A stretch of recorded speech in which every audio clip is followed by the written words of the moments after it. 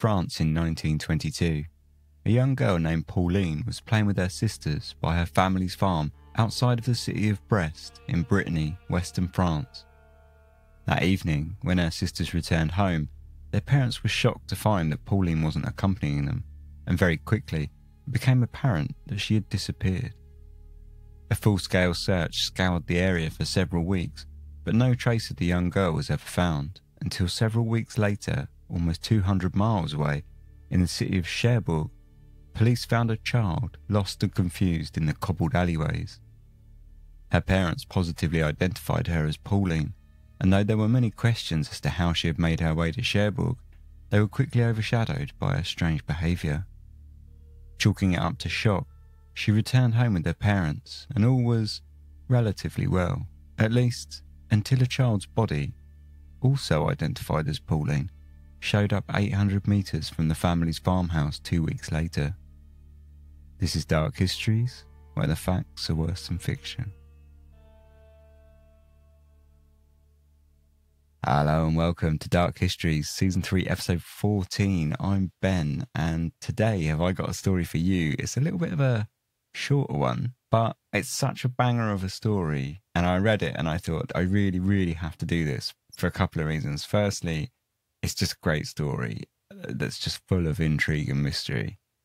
And secondly, it's one of those stories where it's old and it's not English. So there was a lot of misreporting at the time, and and basically the misreporting has just been compounded by sort of yeah short blog pieces who are just phoning it in just for a quirky story or whatever and they've done no research of their own so all of the mistreatment of it i guess by the press is just kind of compounded over and over and over again so it's like a story that i could really get into and and dig up the kind of truth of it it's been a while since i've really sort of done that i think so I really wanted to get this story out. So yeah, this this this week is a little bit shorter, but it's a cracking story. So before we get on, I've just got a couple of announcements. Firstly, I just want to say thank you to all the new patrons, um, as always. So Wendy, Kelly, Joe, and someone whose name I'm always awful with, with names, but Liesel or Lysel, uh, Rachel, Eileen, Lindy, and Sue. Thank you very much. And thank you to all the supporters, as always. Uh, it's amazing having you on board and thoroughly humbling and absolutely helpful. Um, so thank you very, very much. And secondly, I've got a bit of an apology. Basically, if you've sent me an email in the last, say, two and a half, three months, I probably haven't read it yet because I just found out this week that my email spam filter, which is set to kind of like learn what's spam and what's not, has decided to learn to cut like 90% of any email communication sent to me from legitimate sources. So um, I only just found this out because I never really checked my spam filter because it, I thought it was set well and everything seemed to work. And then just recently, I thought things have been a little quiet. And I had a matter that I had to check into my spam filter for. And when I checked, I just saw all of these emails that basically are from listeners that, and I've obviously not seen them. So if you have sent me an email and I've not received a reply yet, I promise I will get back to you this week. Um, after this episode goes out, I'm going to spend some real time in those emails. I've scanned through them um, in in the time I had, but I haven't sort of really read read them properly. Um, but I will do that this week. Um, I'll, I'll, go through and look through and reply to everyone. Especially, I noticed that there was at least a couple of messages in there from people who have bought Amazon books from the Dark Histories wish list, and they'd sent me emails to tell me that they'd bought it and of course, naturally, I want to say thank you to you. And I, I just didn't obviously receive your email. So there's, you know, emails like this that I definitely will. There's loads of great suggestions in there for episodes, which I'm, I'm going to sort of write down all of them. And, and obviously, I'll, yeah, basically, everyone, I'll get back in touch with you this week. So apologies for that. So moving on, let's get on with this episode. This week, we have Lost and Found The Mystery of Pauline Picard. Saint-Rivoal lies in the very western peninsula of France, nestled among the Har, the coastal region of Brittany. It is a savagely rural area with several settlements consisting of only a single farmhouse or cottage. The marshes in the west of the region give way to large tree lined fields and beautiful rolling hills in the east, where a semblance of agriculture becomes possible. On the western coast lies the port city of Brest, with its harbour that acted as a gateway just five years prior during the First World War to thousands of US Navy men who disembarked on the shores and made their way to the trenches on the French front lines. Descriptions of the area throughout history have not been entirely kind. Writing in 1984, French poet and fiercely proud Breton Xavier Grall wrote of the area And here is Saint-Rivoal with its old bluish shale houses. Nobody. The small church with its bell tower tattooed with lichen plates similar to wind roses is planted on a hillside. The field of the dead which surrounds it descends gently towards the valley to the south. In 1901, in his unfinished book of poems entitled Song of Cider, Frederick Le Guyader wrote, Saint-Rivoal and Beaumieu, lost in the mountains, are the saddest boroughs in Brittany. A few scattered slums around a grey steeple, no trees. If not three old stunted yew trees, which are dying along the walls of the cemetery. Here and there, large blocks lying in the heather, very small black weeds, aborted rye stony ground where hundreds of sheep graze in silence and in solitude. A whole country plunged in stupidity, frozen, dead, far from the noise, far from all rumour. For Saint-Rivoal. Moving inland, 25 miles to the southeast of Brest, the settlement of Gao-au-Loudou lies hidden and peaceful. High hedgerows surround green fields and trees stand in rings atop the hills that ebb and flow throughout the landscape. There is only one farmhouse in Gao-au-Loudou, though the nearby villages of Pernaga and Bodingar sit within walking distance, halfway to the horizon. In 1922, the farmhouse was owned by the Picard family, Francois Picard, a farmer, and his wife and nine children. Life on the farm was not particularly easy. Wolves threaten the livestock, the agriculture is sparse and hard going, and the landscape can be unforgiving in difficult weather. The Picard's farm is modest, though they keep some livestock as well as horses, and the children worked alongside their parents to ensure the whole ran smoothly. On 6th of April 1922, Pauline Picard, the eighth youngest child at just two years old, was seen out playing with her sisters in the farmhouse yard, and at around 4:20 p.m., her father watched as she went off with her older sisters to tend to the horses in the nearby hills. When the children returned later that evening, they were without Pauline, and panicked, the parents sent for the local gendarme to arrange for a search. The weather had turned as the sun had dropped, and a storm was blowing in from the coast, turning the sky bruised, swollen, and angry. The next day, a search party was sent out to look for Pauline, consisting of over 150 local volunteers, the local parishioner, and police, as well as trained hunting dogs, and yet nothing was found of the young girl. Police turned their attentions to suspects, and right at the top was a 50 year old man named Monsieur Keramon. Keramon was a slight man who walked with a limp, heavily mustachioed. He had been known to the Picards for a time and had spent the day of the 5th working on the farm. Several months previous, he had been released from prison where he had served time for violent crime. He had, witnesses said, showed an interest in Pauline, offering her sweets and talking with her during his workday. Now, however, he was nowhere to be found in the local area, though the police maintained their search while simultaneously conducting the volunteers in their hunt for the young child. Fears rippled through the volunteers, and as they kicked back hedgerows and paced through fields, they began to whisper that Pauline had fallen foul of the difficult weather from the night before, or worse, to wild boar. Boar had been known to thrive throughout the area, and with grim faces, Theories began leaning towards the girl having been eaten, as no trace was found. In a fantastic display of prejudice that existed in the area during the early half of the 20th century, many thought to blame it on gypsies, despite the fact that the paper reported that none had been observed in the neighbourhood at the time of the disappearance. On the 9th of April, police managed to track down Keramon, though the result only managed to clear up the possibility of their only known suspect of having played any role in the disappearance. He told police that he'd been working over four miles away at the time of the abduction, and when police followed up his claims, they found it checked out. With no other leads and no trace of Pauline turning up from the ongoing search party's efforts, things were fast running into a dead end for all involved. Over a month later, in early May, hope in the Picard household was at an all time low and acceptance had begun to take hold. A visit from the gendarme, however, sparked a new enthusiasm.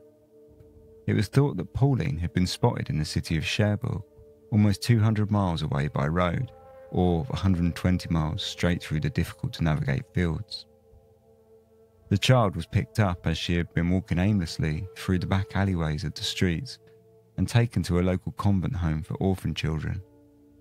The gendarme presented a photo of the young girl, and though she looked thinner, both parents agreed that she bore a heavy resemblance to their missing daughter. The next day, on the 8th, they travelled with the police to Cherbourg with a new hope to see the girl with their own eyes. Upon meeting her, neither father nor mother were convinced that she was their daughter. She was much thinner, though police assured them this could have been due to weight loss. After all, no one was really sure what the girl had been doing for the previous month. She appeared well looked after, and her clothing, though different from the clothing that she had been wearing when she left the farm, was in relatively good condition. More strange was her behaviour to the Picards. When they were introduced, the girl remained mute, as she had been since the police had found her, and she showed no signs of emotion or happiness to see her parents again. In fact, as the parents spoke to her, asking her questions, it seemed to become apparent that she didn't speak Breton at all, an isolated Celtic language spoken by all the population of Brittany, including the Picards. This was chalked up to her mute state, however, as the paper later reported. She seemed to understand no language and could only make sounds incomprehensible to anyone as her parents spent time with her, however, her father slowly began to warm up to the fact that this peculiar young girl was in fact Pauline. The mother was less sure, but after speaking with the local justice, who theorised shock may have caused amnesia, she agreed to stay for a second day to see how the child reacted to their presence. By the next day, the mother too was coming round, stating that the girl had similar shaped ears as Pauline, whilst the father was, by now, absolutely adamant the girl was Pauline.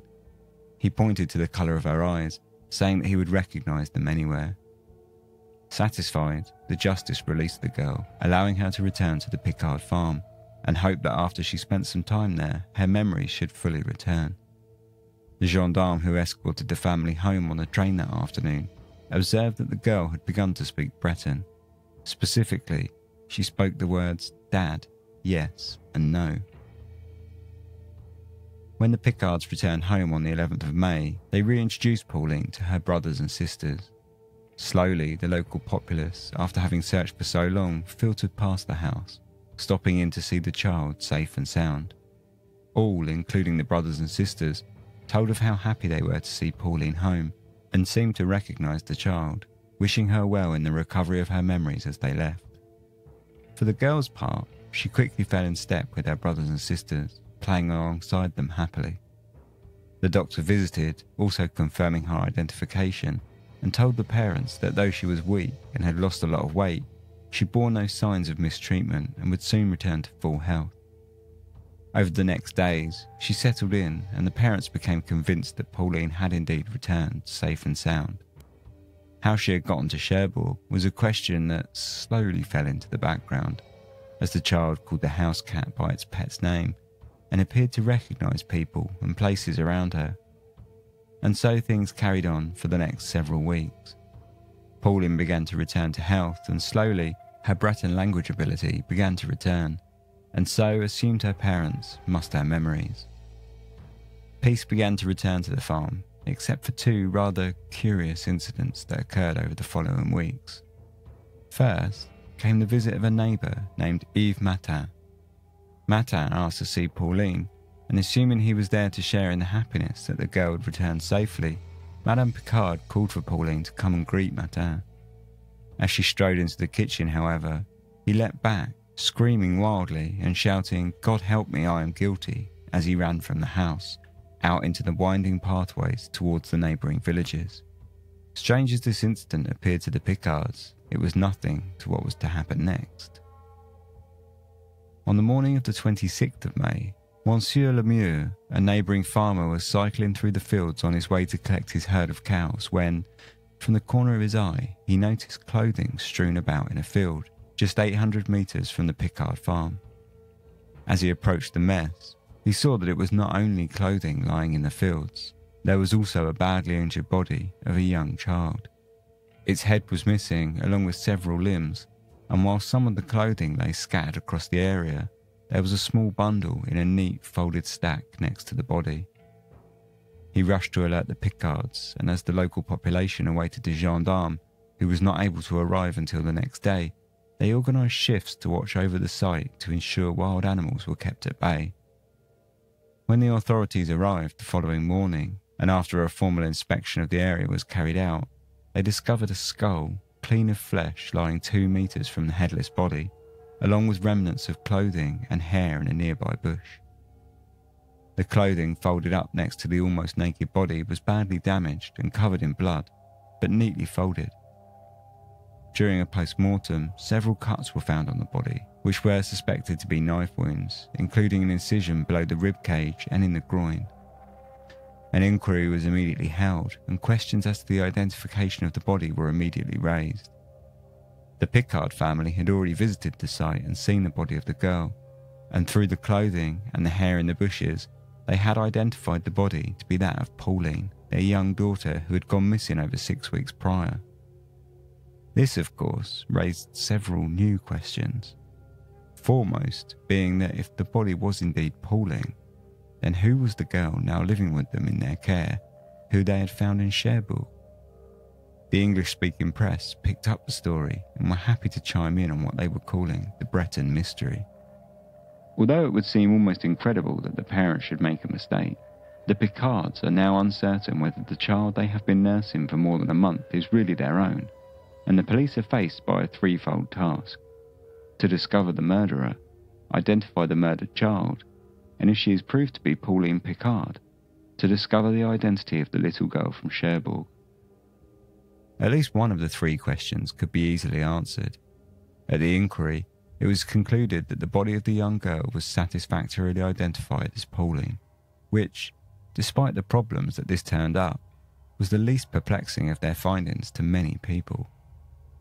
They also, rather strangely, concluded that the cause of death had been accidental, theorizing that the little girl had gone out with her sisters on the day of her disappearance, got lost, alone and in a panic, wound up stuck outside in the storm that tore through the vicinity that night, eventually leading to the girl being stranded and starving to death.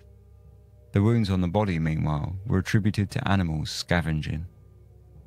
Naturally, this conclusion was almost universally discarded by the locals and those that had been involved in the search parties in the days following Pauline's disappearance. For starters, how would the young girl have been lost so close to her home, in an area that was not difficult to walk freely through? If she had died in the field of natural causes, an even stronger argument put forward by the locals was the small matter of how they would have overlooked the site during their searches, which were conducted by over a hundred people and included trained tracking hounds. During the inquiry, the coroner brushed the voices of the locals aside, saying that they must have been mistaken and just thought they had searched the area, whilst they had not. This was without even questioning how the body could have been in the field for several weeks unnoticed, even by simple passers by. The local parishioner who had helped to organise the searches stated adamantly that the searches were so thorough that we would have found a wallet if it was lost. We found no body. There were questions as to the quality of the post mortem, which had been carried out in a local barn by torchlight and without sufficient tools available. The French papers pointed to the fact that if scavengers had decimated the body, such as the girl's stomach and soft tissue areas left intact, areas which, by normal standards, would have seen the first signs of scavenging. The stomach of the girl, along with several other organs, were eventually sent off to a university hospital for investigation, but they returned no conclusive information. As if the picture needed any more muddling, the skull found next to the body was found to be that of a full grown male and was far too big to be that of a two year old child. If this was the case, where was the young girl's head? And what of the clothes, which had been reported on by several witnesses as having been folded and placed next to the body? As for the identity of the young girl from Cherbourg, several backtracking statements were made almost immediately. The father, Francois Picard, was now stating that the girl in their care was perhaps younger than Pauline, whilst the papers began pointing out that the girl appeared like a city girl rather than the strong children of the Picards, who all had strong noses. One paper also printed rumours that the Picard parents had had little to do with Pauline's upbringing, and that the other children had raised her almost exclusively. Perhaps, they thought, the parents made mistakes on the identification simply because they were not altogether sure what Pauline really looked like. Others still commented on her lack of Breton language understanding and now called what they were reporting only days prior as speech as babbling. One of the largest swings came from the printing of information in the press that the young Cherbourg girl was 60 centimetres tall, whilst Pauline had been 77 centimetres tall. In regards to leads on who might be now considered a suspect, police had only one the story of the manic neighbour, Monsieur Lemur, was retold to police and of how he had screamed, God help me, I am guilty, before running from the Picard's kitchen after seeing Pauline alive and well. Efforts were made to track down his whereabouts, only to find that he had been judged insane and sent off to an asylum shortly after the situation with Pauline. Whilst many thought this perhaps bolstered the suspicion against him, the press were quick to point out that he had in fact been judged to be simple for a long time before the event due to an accident that he had had whilst at work that had left him mentally handicapped. With nothing left doing in regards to the identity of the body, she was buried in the cemetery under a headstone engraved with the name of Pauline Picard. The Picard family attended the funeral and then escorted the young girl that they had taken in from Cherbourg back to the convent where she was left in hopes of finding her true home. This was a task that never came to be, as one year later she died in the convent after suffering from measles. After the event, there were several strange rumours that began to arise from the whispers in the fields and across the farmlands of Brittany. Concerning the child in Cherbourg, many began to wonder if she had been a child abandoned by a foreigner, possibly an American, which might have led to her being mute, as she would have not only not understood Breton, but French too. Furthermore, perhaps this was why the press interpreted her speech, which would have been English, as simply babbles. As for the identity of the body in the field and the murderer of Pauline, two stories arose in tandem. The first was that the murderer had been Francois Picard, the father. In Le Journal L'Ouest-Éclair, they printed a piece that, whilst giving no names, heavily insinuated the father as having been prone to violent outbursts, and it pointed to the parents pretending that Pauline had been theirs all along, especially pointing their finger once again at the father, who was the first to conclude the girl was Pauline when they had gone to Cherbourg. A second rumour, perhaps more spectacular than the first, was the story that made the quiet rounds in the locals.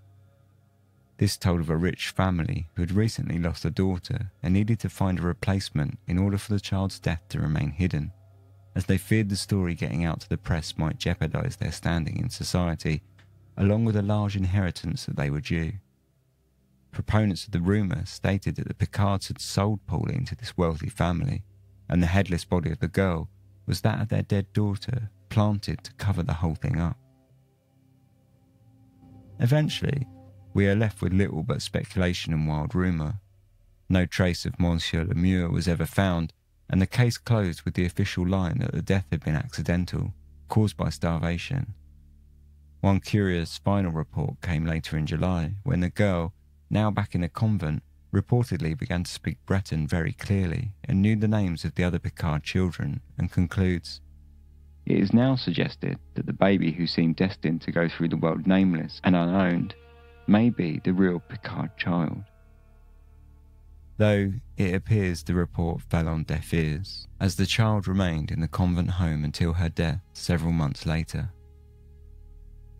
Although the story of Pauline Picard sounds fantastic and almost unbelievable, especially on the part of the Picard parents, it is not a case in isolation. Ten years prior to the case of Pauline Picard in the United States, the case of Bobby Dunbar had been equally as baffling to many when a young couple from Louisiana reported their son missing after he had walked off during a family fishing trip. He was found and returned months later after being found in Mississippi, and though the case was prolonged and went through quite a long, drawn out court case, Bobby Dunbar eventually went on to live with the Dunbars for his entire life until he passed away in 1966. In 2004, a DNA test was eventually run on his remains by relatives in order to clear up the story once and for all, only for the results to show that Bobby Dunbar was, in fact, not Bobby Dunbar at all, and bore no blood relation to the Dunbar family.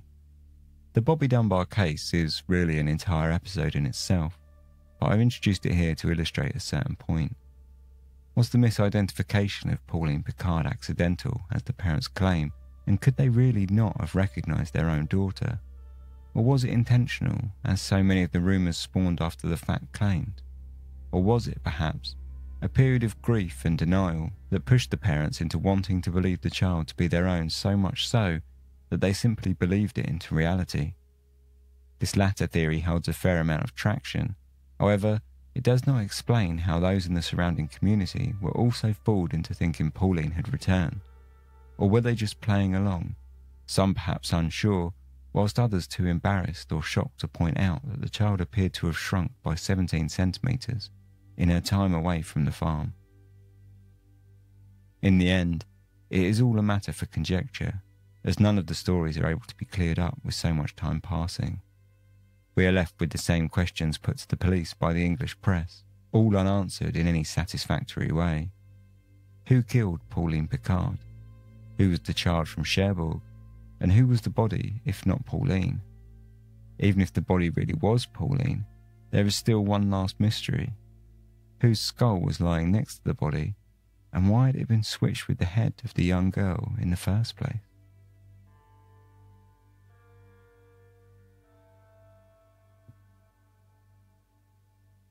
The story of Pauline Picard is a pretty crazy one, right?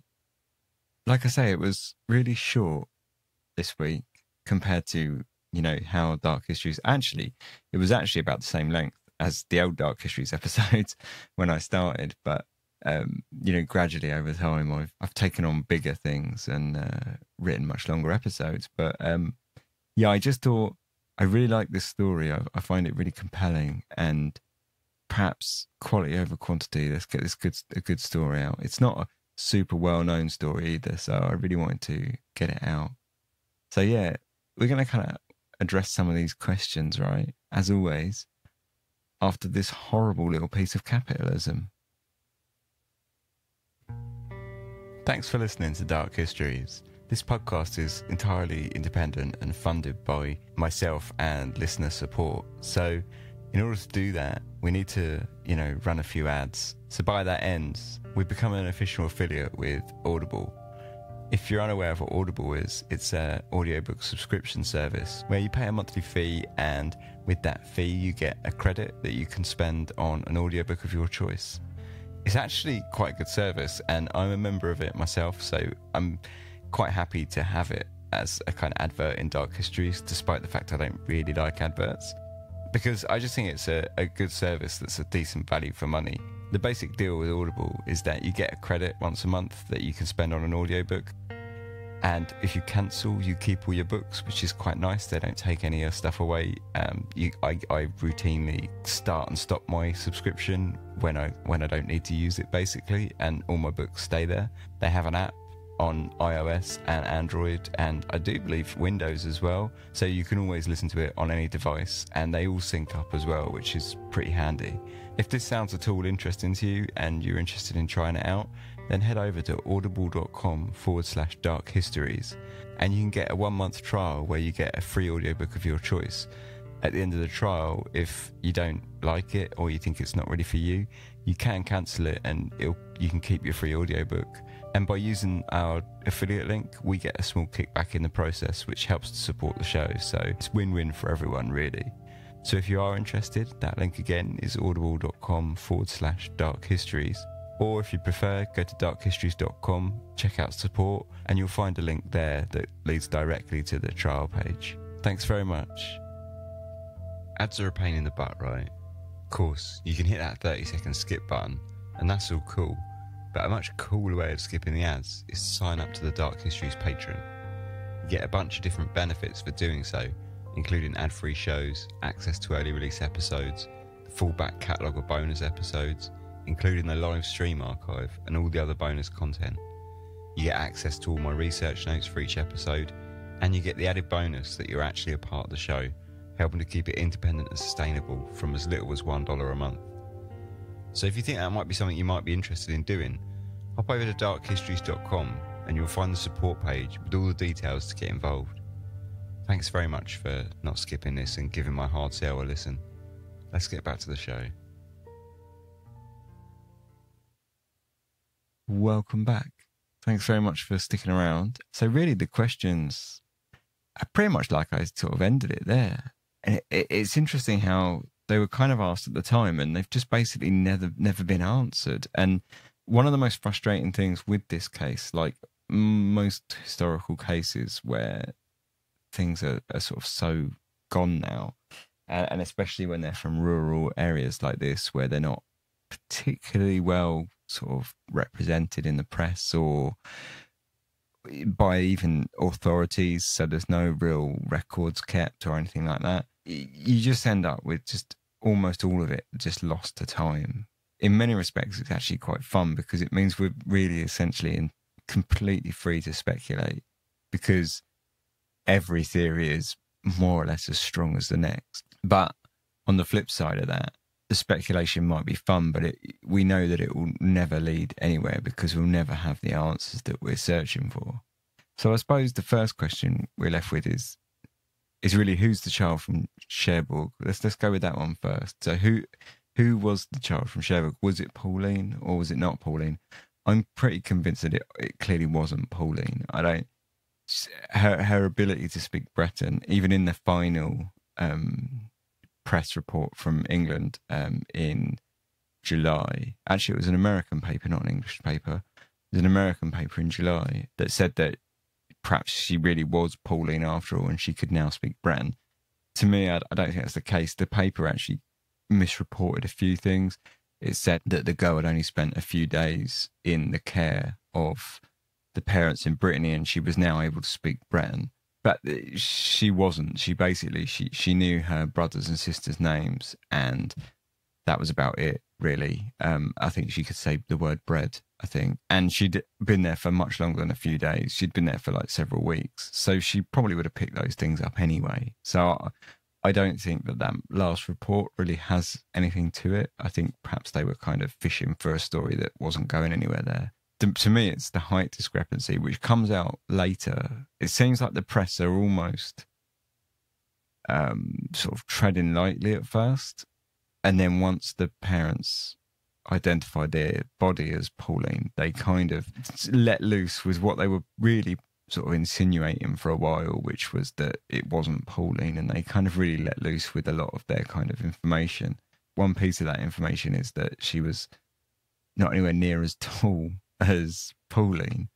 So I, I found that to be probably the most compelling piece of evidence that she she wasn't Pauline because I mean the fact that she couldn't speak Breton and stuff that that's weird, but you know you that that's stuff that you could possibly potentially put down to shock of a trauma or something like that. You know, it's it's totally not unheard of for people to have really big personality changes or sort of changes in things like the language or even accent that they speak. I've I've seen that before. I can't remember what that's called, but people wake up with different accents after. I'm not sure if it's always a trauma, but they they they start speaking in a completely different accent, um, and sometimes you know a completely different language, um, and things like that. Could have had amnesia. She could have had a massive personality change from due to shock or whatever. So I I don't think any of that stuff is particularly compelling evidence that says that it's not Pauline, but the height thing's really the kind of final nail in the coffin there, right? I mean, you that's not something that can change. You can't just drop 17 centimeters through shock. So I, I'm fairly sure that, say, the, the little girl in Cherbourg was probably not Pauline. But if she wasn't Pauline, then what about her parents and, and what about her? Because one thing that I felt was interesting was you could say that she was abandoned or something like that. But the doctor said that she knew she wasn't really mistreated and she had decent clothes on. In fact, they sort of insinuated that she had. Again, this is difficult because it's it's insinuation and it's insinuation in, in a language that I'm not overly familiar with. So I, I'm I was kind of it's it's a struggle for me here, but to me it seemed that they were insinuating that they were clothes that were too expensive for the Picards to have afforded, if you like. They sort of said things like that she was, a, like I think um, one of it was that she was appeared like a city girl, whereas you know the Picards were kind of strong, um, and it, it it's all kind of insinuation. I think that that that that that, Pauline was probably a little bit more, um, rather sorry, the girl from Cherbourg was a little bit more kind of prim than the roughness or gruffness of, of the Picard children. So she, yeah, she seemed to be quite well looked after. Anyway, is the point. So I wonder, would she have been? You know, it doesn't really lend itself to someone who would be abandoned. But the the theory at the time seemed to be that she was abandoned by a foreign, like a, a foreign couple or foreign parentage, and they just left her in France and just sort of gone off home. I don't think there was any evidence for that, but it is quite. I, I actually think that's not a bad story because she, like I say, like people said that she just babbled and was incoherent and mute, and she didn't seem to understand anyone. So I think I can, you know, I can see that. You know, she could have been perhaps completely foreign. So not only could she not speak Breton, she couldn't speak French. So she would have been totally lost no matter where she was. And then that would kind of lend her to being mute and babbling as the paper so politely called it. So, yeah, I mean, I, I actually think that theory is quite solid that she was perhaps kind of abandoned by a foreign family. It's all pretty sad, really, but that's kind of what I think is perhaps the Cherbourg child. I think that she was perhaps a foreign, foreign born and didn't speak French or, or Breton at all. Um, and I definitely don't think it was Pauline. So then we get to if the body was Pauline, which I think it probably was, I think the body that they found probably was Pauline. I don't really believe that that that rumor that was going around that a rich family bought Pauline to cover for their daughter, and that's why the head was missing because they chopped the head off to disguise the identity of their dead daughter. I mean, it, to me, it all just seems like that's the sort of story that is going to be cooked up by the underclasses against you know, a kind of dirty scandal against the kind of upper classes. To me, that that seems about right. A lot of kind of that sort of scandal could easily be accepted and and sort of spurn forward and seems kind of juicy rumor kind of thing. And it, I I can see that story kind of growing quite quickly out of the situation. And I actually agree that it was possibly scavenged to some extent, but I don't agree with the conclusion of the inquest at all. So, firstly, I, I think I find it strange that I, find it implausible, in fact, that she could have been there for a month and no one found her. Um, so that's for starters. So I definitely think she was dumped at a later date. The difficult thing comes with the clothes that were folded because there are so many inconsistencies with the reporting, but there are certainly it's it's explicitly pointed out that witnesses said that the clothes were folded, but the body was first found by the clothes being scattered around. So that's difficult. In the only way it kind of reconciles itself there is by saying that some of the clothes were folded and some of them were scattered. Well, that seems quite strange, unless they were folded and became scattered after the scavenging. If she'd only been left out one evening, perhaps if she was left out the night before, perhaps she was dumped, and that there was some scavenging that night but, you know, I think perhaps that scavenging could have taken off a lot of things, you know, like could have gone off with the head. I mean, some of her hair was found in a bush a meter and a half away.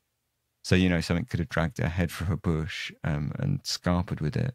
They never found it. But yeah, I mean, that that's plausible to me, along with some of her limbs as well, because some of her limbs were missing. Again, the, if the body was that much decomposed. It's a bit grim, but you know that they could have been dragged off by animals. I don't think that's totally un sort of. I don't think that's too crazy, and I think that also would, you know, if she was dumped the night before, perhaps that's why none of her soft tissue was eaten because they just didn't have the time to do that. You know, perhaps they only had the time to kind of drag away bits and pieces. As, as gross as that sounds, um, but then the strange thing is, what was the skull doing there? Unless the skull was dumped at the same time, and it wasn't, you know, because it only the skull only really become a thing because the girl had no head, and if the head had been dragged away by an animal, suddenly that skull becomes like a huge deal.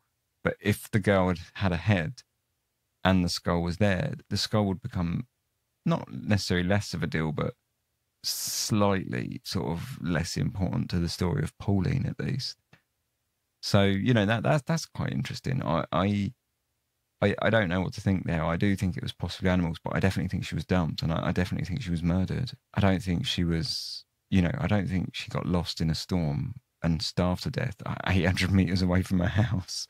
Although she was only two years old, that's not old, and and that seems quite crazy. But she seems to have been quite mobile. And although she was often about with her brothers and sisters, you know, it doesn't seem unusual that she was out sort of walking through the hills with her brothers and sisters to look after horses and livestock and such.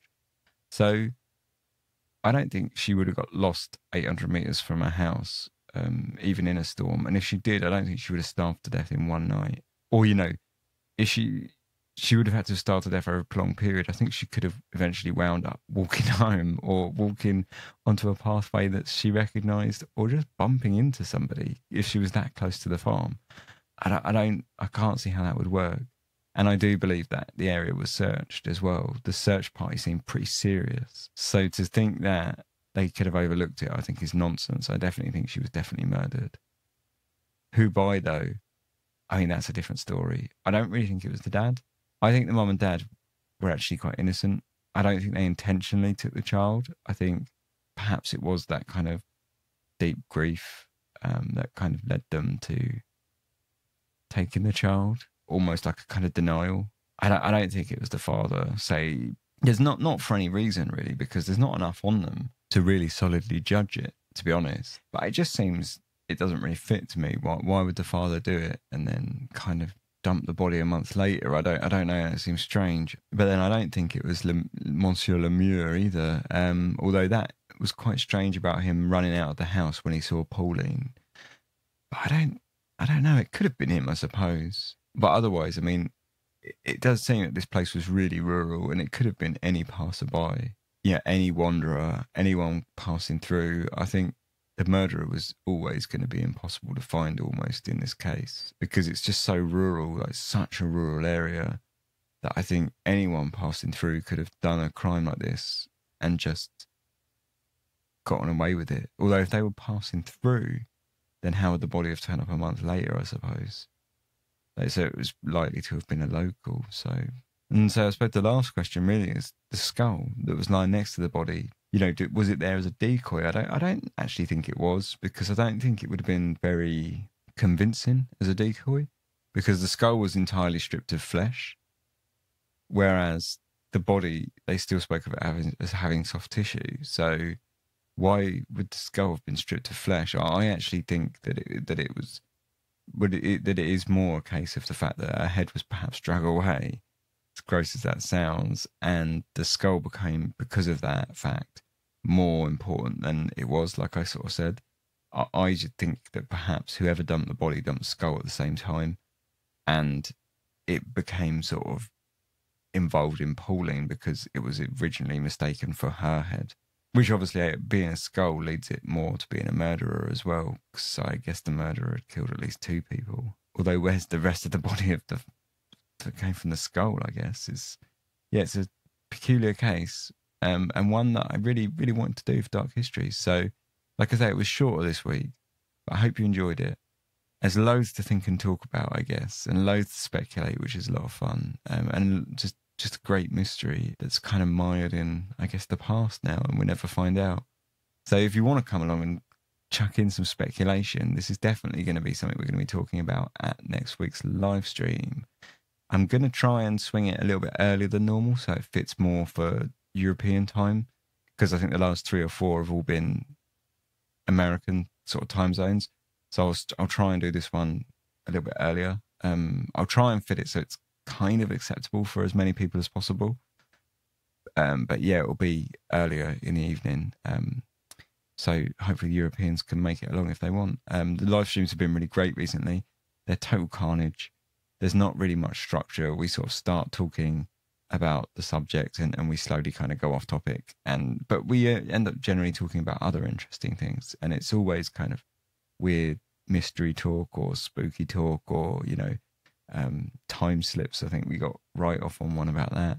And i think last week we ended up talking for quite a long time about the viability of disposing of bodies via pigs um, so yeah if you want to come along say it's a free for all. Anyone can join in the chat.